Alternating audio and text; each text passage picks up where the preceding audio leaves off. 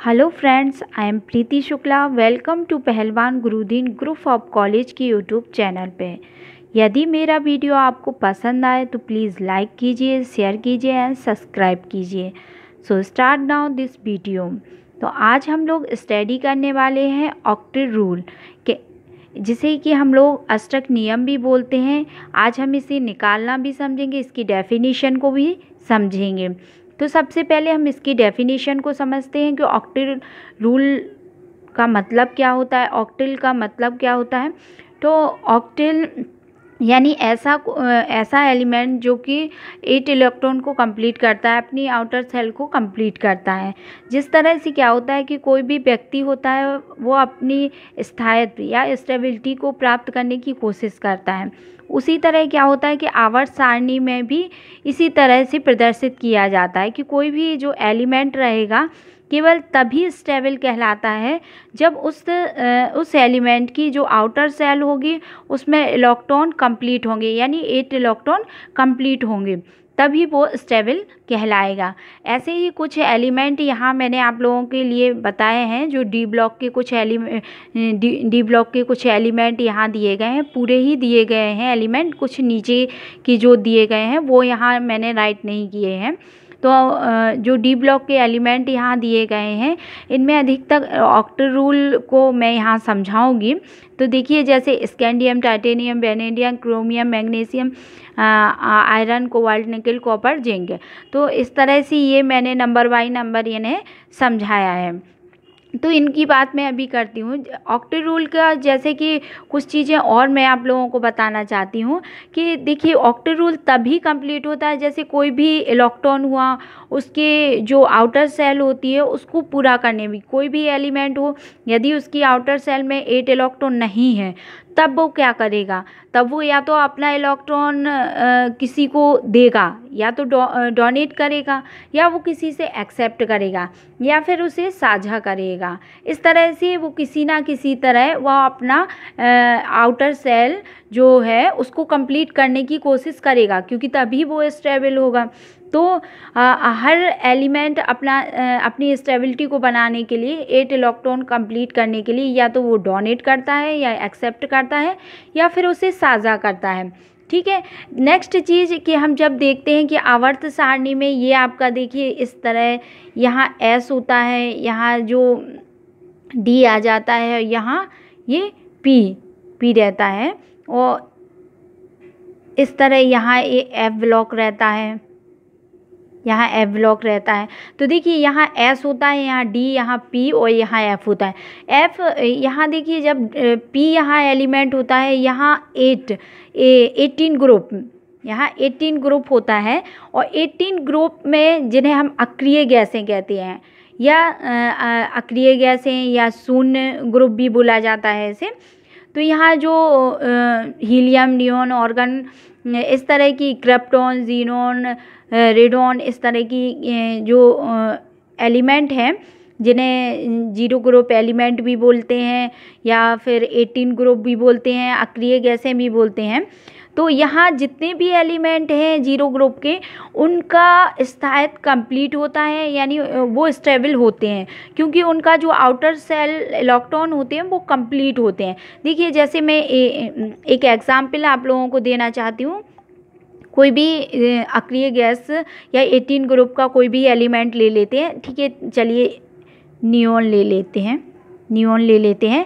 इसका atomic atomic number होता है टेन, एटॉमिक नंबर टेन होता है।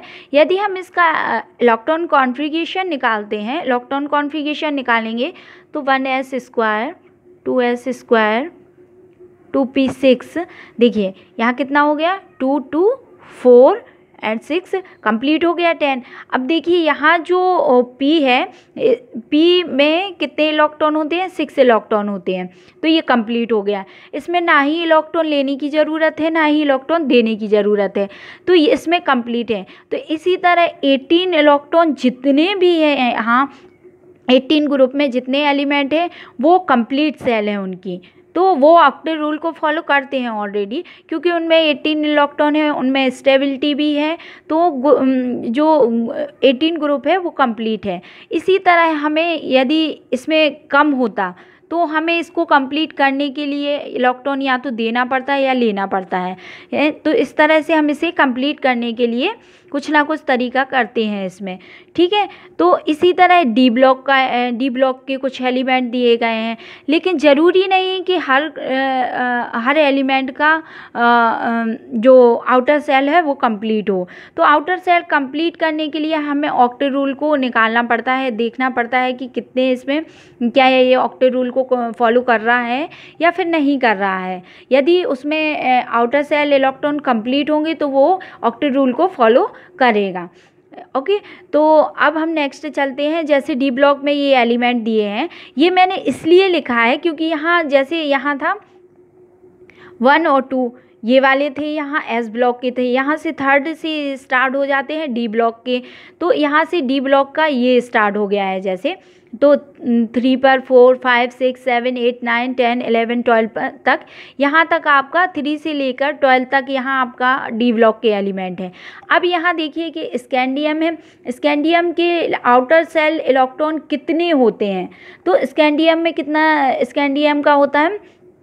ट्वेंटी वन ठीक है, ट्वेंटी वन होता है। यदि हम इसके आउटर सेल इलेक्ट्रॉन को देखें आउटर सेल इलेक्ट्रॉन में तो लास्ट का जो रहेगा आउटर सेल ओनली मैं आउटर सेल की बात कर रही हूँ तो थ्री डी वन और यहाँ फोर एस स्क्वायर ठीक है। अब देखें तो हम इसमें डी में कितने हैं? वन इलेक्ट्रॉन है, और एस में क्या है? टू तो टोटल कितने होगा? टू वन थ्री देखिए थ्री है।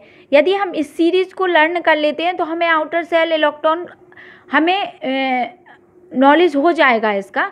हमें ज़्यादा इसके इलेक्ट्रॉन यदि हमें ये सीरीज़ लर्न हो गई तो हमें एटॉमिक स्ट्रक्चर के आउटर सेल इलेक्ट्रॉन को लर्न करने की ज़रूरत नहीं रहेगी।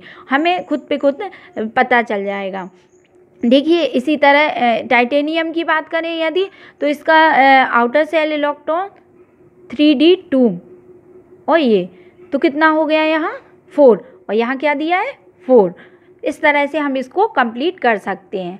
ओके और यदि अब हमें निकालें तो इसको आउटर सेल हमें इसमें ज़रूरी होता है कि ऑक्टर रूल हमें निकालना है तो उसके आउटर सेल इलेक्ट्रॉन की हमें जानकारी होना चाहिए। देखिए, एक इलेक्ट्रॉन हम लोग ले लेते हैं। ये देखिए, इस सीरीज़ को भी हमें लर्न करना, यदि स्कैंडियम का होगा थ्री तो इसका भी थ्री है, इसका भी थ्री होगा। इस लाइन को देखिए रो हमें एक सी ही रहना चाहिए। इसके नीचे वालों का भी उतना ही होगा। हम किसी का भी निकाल लें तो इसका आउटर सेल फोर ही होगा। यदि इसका निकालेंगे तो इसमें भी आउटर सेल फाइव ही होगा। तो इस तरह से हम इसको निकाल सकते हैं। अब देखिए, इसका है जैसे ये हमें एग्ज़ाम्पल दिया हुआ है।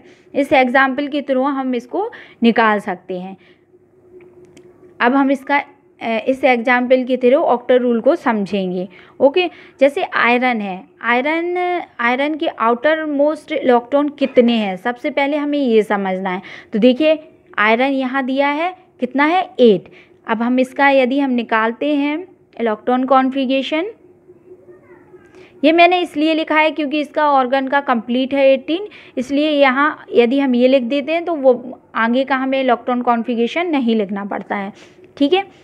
अब थ्री थ्री डी क्यों डी थर्ड थर्ड और थर्ड सीरीज़ है और यहाँ डी हमारा डी ब्लॉक में है ओके तो अब इस पर कितने हैं? सिक्स और टू एस स्क्वायर अब देखिए सिक्स टू कितना हो गया? एट यहाँ कितना दिया हुआ है? एट दिया हुआ है ओके अब हम इसका निकालते हैं। अब हमें आयरन का पता चल गया कितना है? एट तो हम इसके नीचे लिखते हैं एट प्लस। कोबाल्ट में यहाँ टू होता है इंटू फोर करेंगे। अब देखिए यहाँ लास्ट में क्या है? माइनस टू दिया है। टू माइनस दिया है, यानी कि जब माइनस दिया हो तो हम यहाँ क्या करते हैं? टू इसमें प्लस कर लेते हैं। ठीक है? प्लस कर लेते हैं। अब देखिए इसका क्या ये ऑक्टे रूल को फॉलो करता है कि नहीं? देख लेते हैं। एट का एट लिख देंगे यहाँ। फोर टू ज़ा eight plus two okay eight eight, sixteen, seventeen eighteen इसमें एट्टीन इलेक्ट्रॉन होगा एटीन आई मीन ये ऑक्ट रूल को फॉलो कर रहा है। जहाँ एट्टीन इलेक्ट्रॉन हो जाते हैं तो वो ऑक्ट रूल को फॉलो करेगा। ओके? तो ये समझ में आया है। इस तरह हम आगे भी आगे भी और भी एग्ज़ाम्पल को हम इसी तरह सॉल्व करेंगे और भी बहुत सारे एग्ज़ाम्पल समझेंगे और जानेंगे कि किस तरह हम ऑक्टे रूल को फॉलो कर सकते हैं। तो आगे और भी एग्ज़ाम्पल देंगे, वो हम नेक्स्ट वीडियो में देंगे। जब तक कि आप आपका होमवर्क यही रहेगा कि आप डी ब्लॉक के एलिमेंट को लर्न करें, ओके? तब तक के लिए थैंक यू